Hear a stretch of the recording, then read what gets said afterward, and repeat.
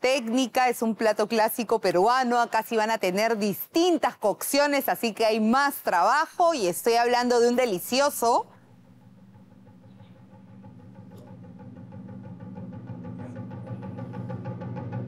mondonguito a la italiana. Ay, ay, ay. Mondonguito a la italiana. A la italiana, señores. ¡Qué delicia! Italia no se come mondongo. El sabor no se come, sí. Vitazzo, usted no debería estar la preocupado. vela italiana no se come mondongo. Sí se come. mondongo. tripa. ¿Tienes la más mínima idea de cómo se hace el mondongo? Algo, una idea tengo y además recuérdalo. A mí me dan las indicaciones, la receta y lo hago Ok. por, lo hago por sensaciones. Por ser... ¡No! ¡Qué artista! Sí, Esto es a la italiana, Celine, y nosotras este, siempre cocinamos hacia la Europa, así que ojalá ahora que nos vaya a bien. decir, ay, que no que no sabe peruano, porque es a la italiana. Gracias.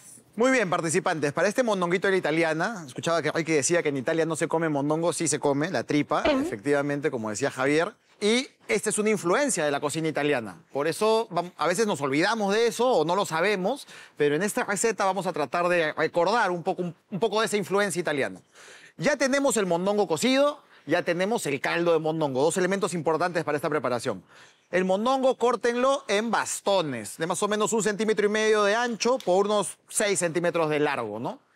Tengan eso listo, reserven. En una cacerola, sugiero estas ollas, este tipo de rondó o cacerola chata, amplia, hagan un aderezo de ajo, aceite, pasta de ajo o puré de ajo o ajo picado, ustedes tomen decisiones ahí.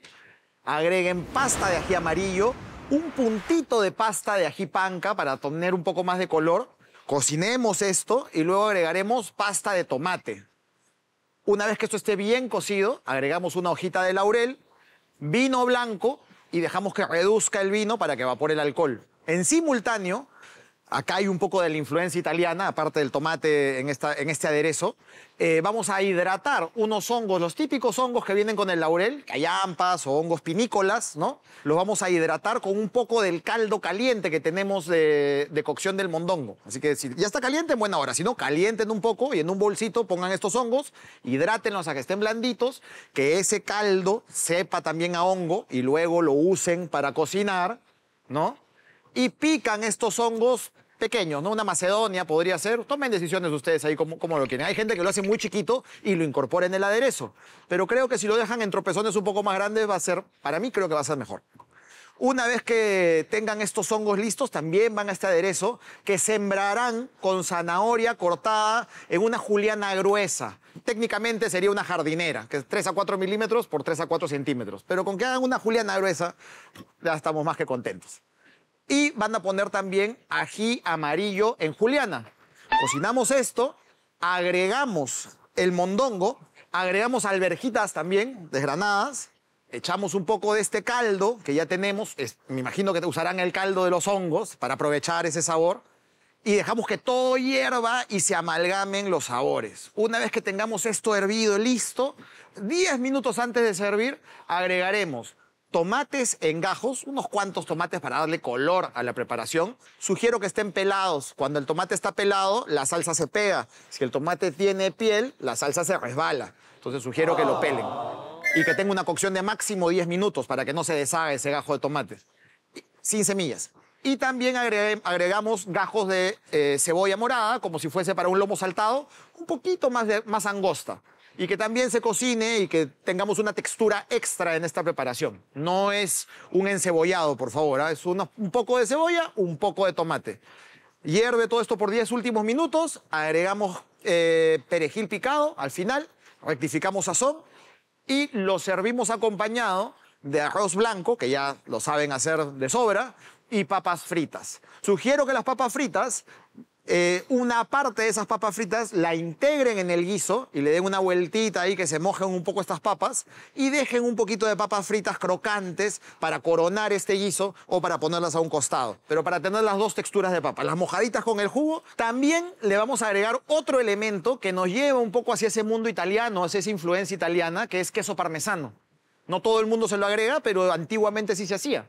Así que le ponemos un poco de ese queso parmesano al final a esta cacerola con todo el guiso. Y si quieren un poco más de decoración encima, le va a quedar muy bien. ¿Por qué los italianos, teniendo tantas comidas ricas, van a comer mondonguito? Es nutritivo, dice, pi- nutritivo.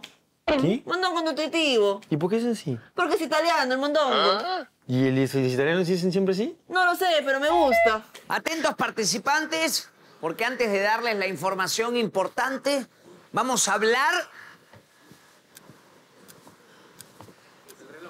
¡El reloj! El reloj, señores. El reloj. Atentos al reloj, ¿eh? Miren, el reloj incluye el siguiente elemento. Una sirena, señores. Miren, miren, vaya sincronización, señores. Ambiente, ambiente de reloj. Ambiente de emergencia. ¿Qué es lo que va a ocurrir? Uno de los integrantes de la dupla tendrá que avanzar a la siguiente estación en sentido horario. Y ese integrante, pues determinará si va a ayudar en la preparación a sus compañeros o si los va a sabotear. Pero realmente les podría pasar lo mismo. A ustedes también los podrían ayudar o los podrían sabotear, señores. Eso es peligroso, ¿ah? Sí, hay que tener cuidado ahí. Sí, sí, sí, sí. Sobre todo con los forajidos. Aquí lo único importante es que un integrante de cada dupla va a dar vuelta en sentido horario cada vez que yo toque... esta- eh, muy bien, es que estamos sincronizados, señores. Parece Esto telepático. es tecnología de punta, señores. Por favor, sincronización. señores. Peláez, ¿cuánto tiempo debe uno hacer ese...? Tres minutos, no se preocupe, yo le voy a avisar porque luego después yo voy a tocar nuevamente la sirena y así sucesivamente. ¿Lo han entendido? Sí, solo Muy tengo bien. una duda. ¿Cuál O es su duda? Tú avanzas en sentido del Sí, reloj. usted avanza para la estación Hasta de Angie, Angie avanza para la Pasan los estación. tres minutos y me regreso a mi estación No, o se van que a la pasar siguiente. a la siguiente. Ah, a la madre siguiente. mía, ya, a la ya, ya. siguiente.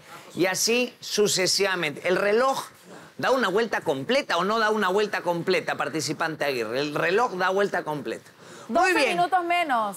Señor Calvo y señor Saldarriaga, aquí va el beneficio que llega gracias a yogurt griego de gloria. Señores, por favor, jurado Macías, si fuese tan amable. El beneficio viene acompañado de toda esa cantidad de productos de gloria. Gracias, Gloria. Bien, señores, estos productos de yogur griego de Gloria vienen acompañados del sobre que tiene el jurado Macías. Y aquí, dentro de este sobre, sale cuál es el beneficio que tienen ustedes. Gracias, yogur griego de Gloria, porque todos los productos que tienen poseen una cremosidad única y sabor irresistible que te harán bailar de placer, señores. Ahora sí, por favor, señor Calvo, señor Saldarriaga, quiero que por favor abran el sobre, lean el contenido y se lo muestren a la cámara, por favor. Se libran de hacer el reto del reloj. Muy bien, señores, hacer... Nos salvamos de Nos ese salvamos. Bien, señores, dicho esto, información importante. Para la preparación de tres porciones de mondonguito a la italiana con arroz, vamos a tener exactamente tres porcioncitas de mondonguito. Esto su abuela, señor Trevitazzo, la hacía eh, en cinco minutos. Pero ustedes van a tener 50 minutos, señores. 50 minutos. 50 minutos. ¡Qué maleado! Maleadazo, me parece. Porque nos están No. quitando 12 Obvio. ya. Recuerden que dos duplas solamente seguirán avanzando en esta competencia y que tres irán a la temida noche de sentencia. Así que por favor, esfuércense, señores. Y ahora sí, buena suerte. ¿Estamos listos? Estamos listos. En sus marcas. Listos. Mire qué fácil, señor. Ya, ya el mondonguito está listo. Ya, cuatro cositas. A mondonguear, eh, señores. Vamos. Queridos jurados, ¿qué esperan de este mondonguito a la italiana? Bueno, en lo personal, más allá de que la carne esté tierna y tenga una mordida agradable, que el aderezo esté sólido, a mí me parece súper importante que las papas lleguen recontra crujientes. ¿eh? Amor, llévate la cebolla y hazlo ahorita. Llévate la cebolla y hazlo ahorita. Vamos a ganar tiempo. Tú, mientras que tú pigas la cebolla, yo me voy a encargar de, de sacar todo, porque la cebolla es el primerito para el aderezo. pues. Aunque no pidieron la cebolla, pero no importa, siempre ah, cebolla para el aderezo. Entonces quieres que te deje todo listo en otras palabras. Así es. Listo, perfecto. Pimiento. ¡Ey, ey, ey, ey, Ah, Ay, perdón. ¿Qué pasa, señor Thanos? Disculpe, disculpe. Cuidado, papi.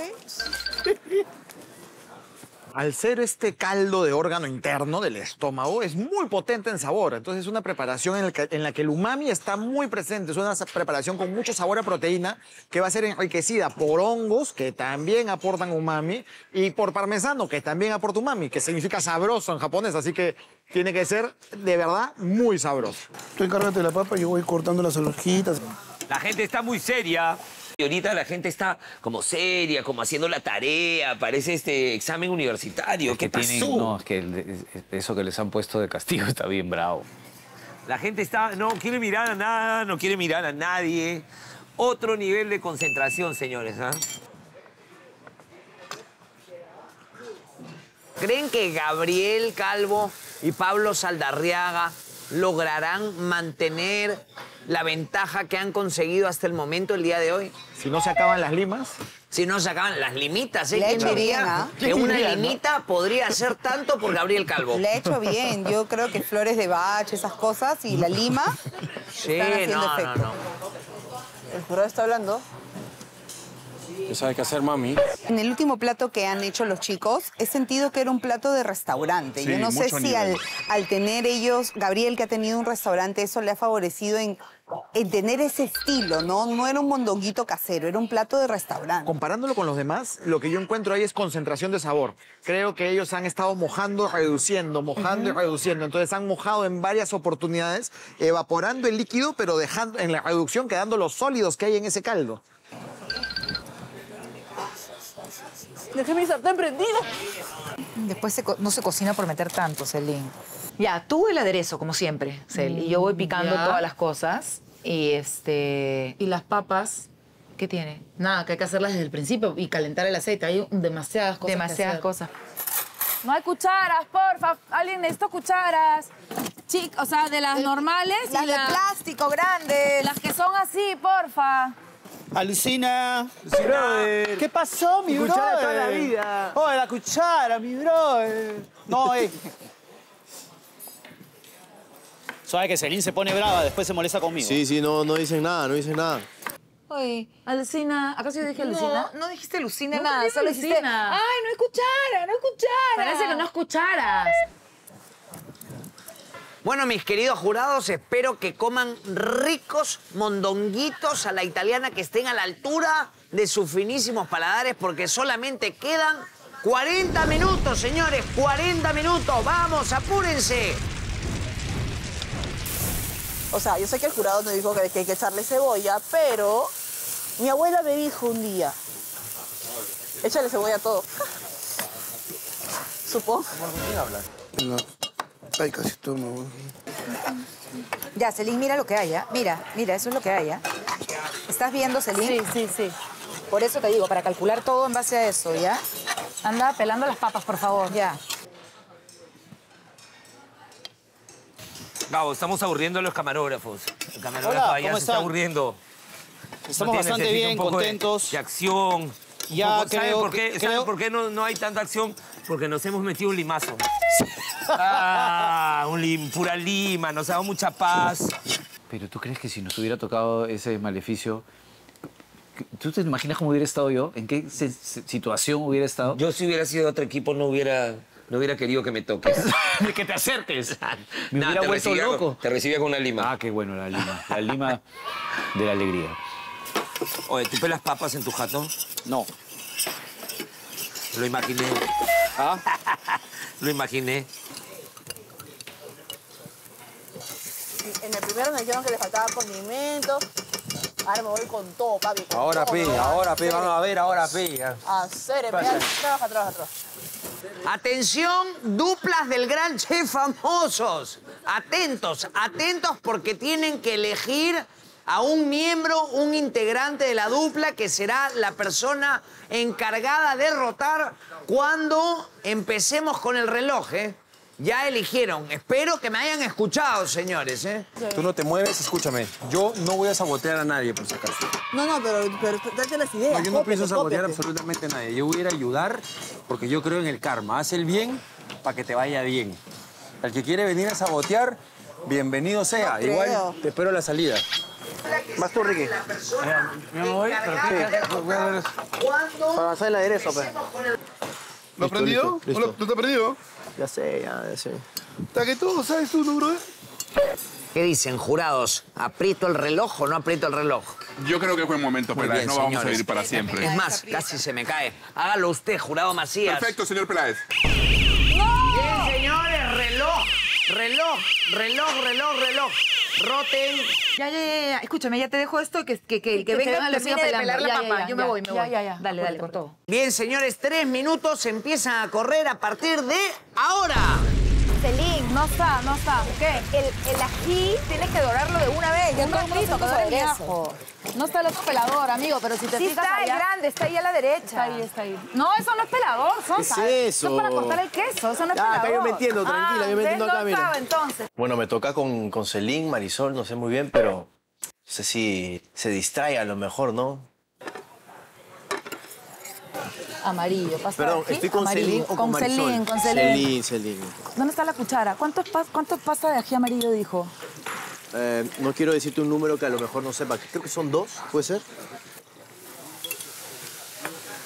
¡Ey, forajido, ey! Primero es el agua. Están fregando mi arroz.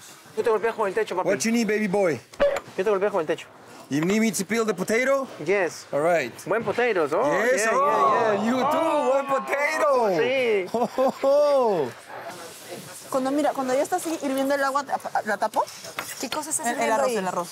Ah, no, lo tapas desde el comienzo. ¿Sí? Sí. Llegó Marisol, ahora sí me va a ayudar a probar la sazón de todo. La voy a hacer que me ayude a pelar papa porque yo ni siquiera sé pelar nada, nada, nada. Así que, Marisol, I love you. A la de Dios. El arroz es lo que más nos falla. La tercera vas a usar, Celine, por si acaso. Más bien yo voy a aprovechar que estoy acá para chuparte toda la información. Ya. Porque yo no tenía ni idea de cómo cortar la zanahoria. Yo creo que se han quedado en las estaciones la persona que normalmente lidera la cocina. Se ha quedado. Steve yo, siempre yo lidera. pienso igual.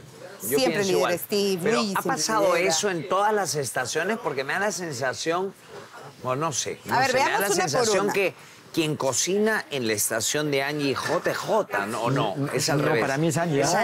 Angie. No, Angie, Angie. Angie. Sí, regula tu fuego, que esté bajito, bajito. mediano. No, bajito cuando hierva. Déjame decirte, Celine, que estás a nada. ¿Contigo? Sí. Paso. Eso normalmente La no pasta sucede de todos los tomate, días. no. Ahora te Nunca. has dado Pero debo cuenta la de mi- envidia de todas las mujeres del Perú en este momento, papi. Lo decía por lo culinario, pero gracias. Celine, en realidad yo hablaba que es- eres una chica afortunada, pero no por mi apariencia, sino por mis dotes culinarios. Pero acepto el cumplido enormemente, así que, bueno, no te distraigas.